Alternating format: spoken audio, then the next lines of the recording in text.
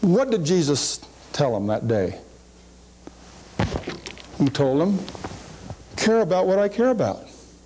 I love the whole world. I just died for it. And you are my hands and feet.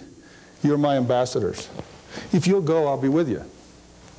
And then Jesus said in John 17, Oh God, I pray not for the world. Now he's refocusing for a minute with these friends. And somehow, I don't know how they recorded it, but it's written. I don't know whether the Holy Spirit just told them or whether they were actually listening as he prayed. But apparently he prayed, Lord, I pray not for these. I pray not for the world, but I pray for these that you have given me. They've received the message you gave me to tell them. And now they're no longer mine, but they're yours. And I have kept the faith. I've run the race. And now they're together. When Stalin left, his corps fell apart. When Martin Luther left, his corps fell apart. When Hitler left, his corps fell apart. When Jesus Christ left, his corps came together. One of those marvelous opposites.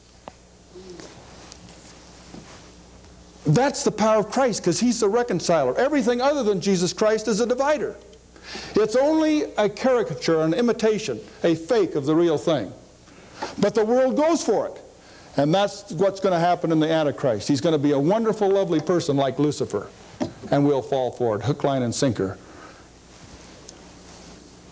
in those days. He'll sound like Christ, probably look like Christ, act like Christ, but he won't be Christ. Be a fake. And Jesus said, Now I pray not for these, but I pray for all of those that will believe through them. What a strategy for world evangelism. And then you know how close he said he wanted us to be? He said, I want you to be, oh God, oh Father, make these 12 and all those that will believe on them, on you through them, as one as you and I are. Now, how close are the Father and the Son?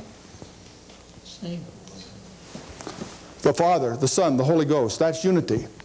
The Viet Cong, Hitler, Mussolini with the black shirts, the one thing in every one of their oaths is we pledge to be totally unified even to death.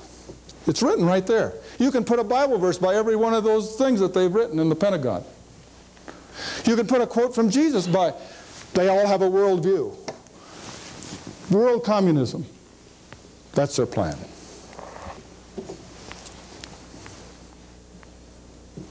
Men of prayer, men of the Word, men who have a worldview, and men that put Christ before others, Christ before self, Christ before possessions, and then he gave us a final commandment. A new commandment I give you, Jesus said one day to them, that you love one another. Another master plan for evangelism. And the whole world will know you're my disciples if you love each other. It is no problem, I can even do it without Christ, to love those who I'm trying to influence and sell cars to, sell Christ to.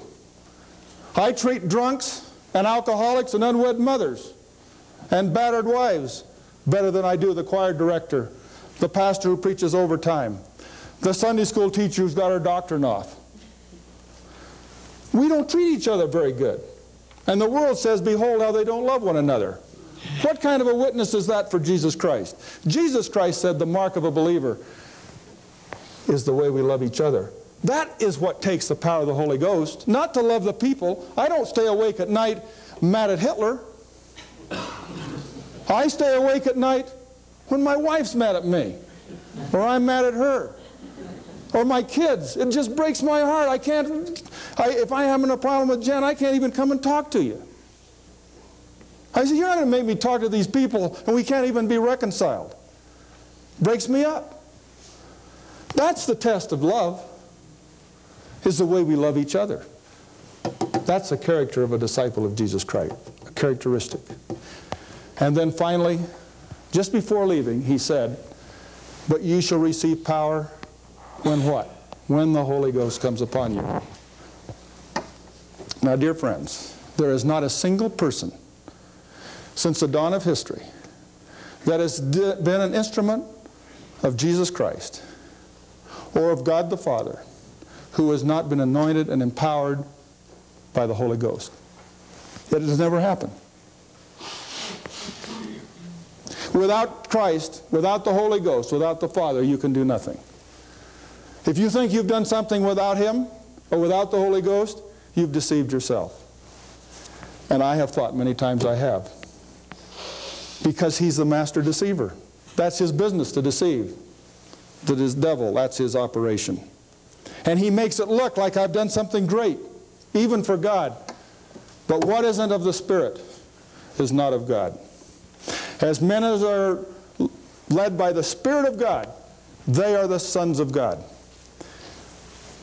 The character, the characteristics, the attributes that Dr. Mitchell, that Dr. Tozer said those days, that the characteristics of a man of God, he's a man of the Word, he's a man of prayer, he's a man who puts Christ before others, Christ before self, he has a worldview, he's a man of unity, and he's a man of love, and he's a man who's filled and anointed and empowered by the Holy Ghost.